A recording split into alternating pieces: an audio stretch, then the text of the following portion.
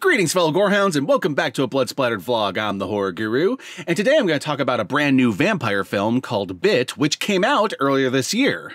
Now, for those of you who don't know, Bit is about a transgender girl that moves to Los Angeles and ends up getting inducted in a radical feminist vampire clan. It's kind of like a cross between the Lost Boys and The Craft, only like 100% more gay. And I'm actually surprised at how much this movie flew under my radar because I have a lot of friends in the LGBT community, and naturally, I'm part of the horror community, so you'd think this would be a movie I would hear everyone talking about, but I guess with the pandemic and the world falling apart and everything, people had other priorities and most likely missed this movie's release, much like I did. And it's a damn shame because this movie was a lot of fun and I thoroughly enjoyed it. It's not like the deepest movie ever made, so if you go into it expecting like a dissertation on what it's like to be a transgender woman in the world at large, you're not necessarily going to get that. But if you go in expecting a fun horror comedy about a transgender girl dealing with a lot of issues within the real world, but through a more comical lens, um, as well as some, as well as a horror lens, then uh, you're gonna enjoy it too. Essentially, this is a vampire film for people who like movies like Ginger Snaps or Tragedy Girls or even Jennifer's Body. Horror comedies about friendships between women that also happen to tackle some very real issues along the way. It's a tightrope to walk, but much like a lot of the movies I've already mentioned, this movie walks it pretty well. Even if I'm not really a fan of Jennifer's Body, but that's neither here nor there. But if you're not enticed by anything I've said so far, here are some other reasons why I highly recommend you check out Bit. Number one, it has a really awesome soundtrack that jumps between really cool bands like the Death Valley Girls, as well as an 80s style synthwave score. That naturally evokes an atmosphere that's very similar to movies like Near Dark or Lost Boys. In fact, I could be wrong, but I'm pretty sure one of the actors actually is Bill Paxton's son, so there's another connection to Near Dark. And number two, this is a movie about a transgender woman that is actually played by a real life transgender woman. So this is not a Scarlett Johansson like situation, and if you were worried that it was, worry not. And number three, much like most of the movies I've mentioned so far, this movie is a hard R, so that means there is a lot of the gooey red stuff. So uh, if you like yourself some gore, there is plenty of it to go around. Especially if you like to see a whole bunch of rapists get eviscerated, then you're gonna love the fuck out of this movie. And number four, this movie is quotable as all fuck. There are multiple lines in this movie that have reverberated in my mind since watching it, and I kind of want to watch it again just so that I can cement like the full quotations, the accurate quotations into my mind, because I know I kind of have like a paraphrased version right now because I've only seen the movie once. But needless to say, this is going to be one of those movies that you're going to find yourself quoting after watching, and everyone around you is going to have no idea what you're talking about, and you're going to tell them about the movie, and then they're going to be interested and then they're going to go see the movie. And then, you know, maybe, just maybe, if enough people do that, we're going to have a cult classic on our hands. And I sincerely hope we do because this movie's a lot of fun. And the fifth reason to watch this movie is one of the antagonists, Vlad. And I do say one of the antagonists because there are multiple antagonists, let it be known. Um, because the character of Vlad is a villain and a utterly despicable vampire, but he kind of feels like he walked right off the set of What We Do in the Shadows and is thoroughly entertaining as a result of that. So, uh, yeah, the character of Vlad is also on my list of reasons to watch this movie. Anyway, my fellow gorehounds, Bit is a true diamond in the rough in this hellscape of a goddamn year.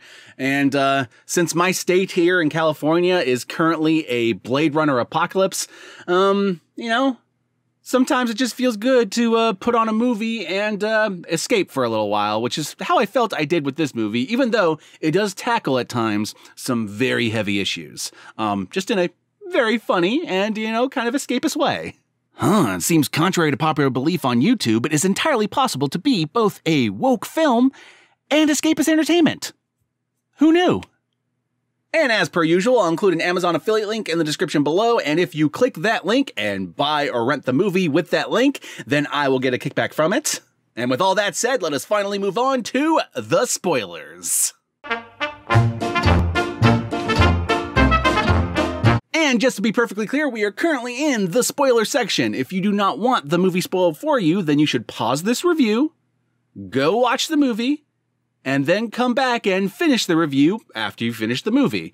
Because I am certainly not going to be responsible if you feel like I spoiled the movie for you if you continued in this spoiler section. So you have been warned. Okay? Okay. So, as I mentioned before, this movie is about a transgender girl who moves to Los Angeles and ends up getting inducted in this radical feminist vampire clan.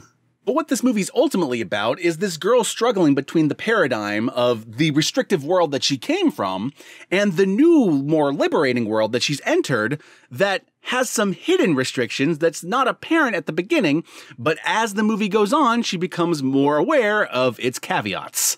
Which naturally leads to the question of whether or not the new world she has entered is actually any better than the old world she left, and the movie is ultimately her exploring that question.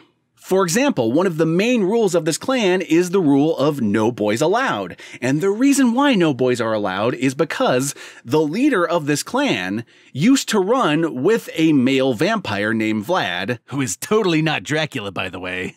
And the thing about Vlad is he had a habit of glamoring young women, turning them into vampires, and then making them essentially his sex slaves for all eternity. Now, he called them his wives. Again, totally not Dracula. But it's very clear they were not really his wives, they were just objects to him that he could impose his will upon. So basically, after spending half a decade of having her will stripped from her and being used as a sex slave by Vlad, the leader of this vampire clan has determined that men cannot have the power of vampirism because if they do, they will use it to do things like that, even to fellow vampires. Which naturally leads into one of the other big rules of the clan, and that's do not, under any circumstances, glamour your fellow vampire. Which, since there are no boys allowed, that means do not glamour your fellow lady vampire. It becomes clear that the ultimate argument for having these rules is to ensure freedom of choice among lady vampires. And here's where we run smack into the big catch of being part of this clan. Because you see, one of the first big reveals of the movie is that the entire initiation sequence that the main character went through to join this clan, it was entirely built upon a lie.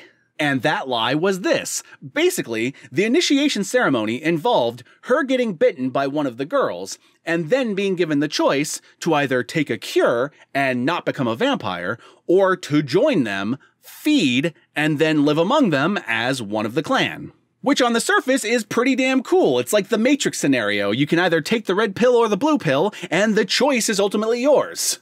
Except it kind of turns out the cure was a lie, and had she taken that option, they would have fucking killed her? So the leader of this vampire clan gave the main character no actual choice, just the illusion of choice. And to make things even worse, it turns out over the course of the movie, you find out that the leader of the vampire clan has been secretly glamoring everyone else in the clan in order to keep them complacent and following her orders. Literally the main reason she argued to not have boys be in the clan. Basically, what the main character learns over the course of this movie is that it's not necessarily being a man or a woman that leads to these exploitative behaviors. It's a result of power itself corrupting. And it just so happens we live in a patriarchal society in which most of that power is being hoarded by the men. But that also leads to the very important question of, well, what is the better alternative? Like, if power is going to corrupt, then if you give that power to women, they'll be just as corrupt as the men.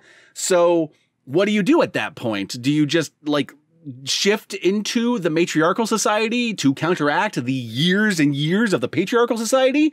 Or is there a third option? And the movie does have some answers to these questions, though obviously not all of them, because some of them are going to be answers that are going to plague us for years. But it does come to this ultimate conclusion that instead of like leaving men out or leaving women out, the ultimate conclusion is a more egalitarian society in which power is shared among everyone. So essentially, a socialist society. And I gotta say, me personally, I'm pretty cool with that conclusion. Now, mind you, in the spoiler section, I've kind of narrowly focused on the through line of the movie, but there is more to the movie than just that. There is all the comedy in the movie. Like, there's some really great funny moments in the movie. Like, for example, there's this one scene in which this team of fascist, misogynist vampire hunters are being hunted by the lady vampires. And uh, when they arrive at the compound, all the alarms go off, and the fascist, like, um, the fascist people are all freaking out because the vampires are attacking attacking and they're screaming at each other and they're grabbing their guns and they're all like flexing their muscles and shit. And then a grenade comes flying through the window and then blows up the entire compound. And then it cuts to the ladies outside going, Why do they always think we don't have weapons? And there are many hilarious and highly quotable scenes like that one I just described, so even if you don't give a shit about any of the through line I've been talking about so far, but that scene sounds very entertaining to you, then you should still see this movie because again, it's fun as hell. And with all that said, my fellow Gorehounds, be sure to like, comment, and subscribe, and don't forget to ring that notification bell so that you're notified of my videos immediately upon their upload.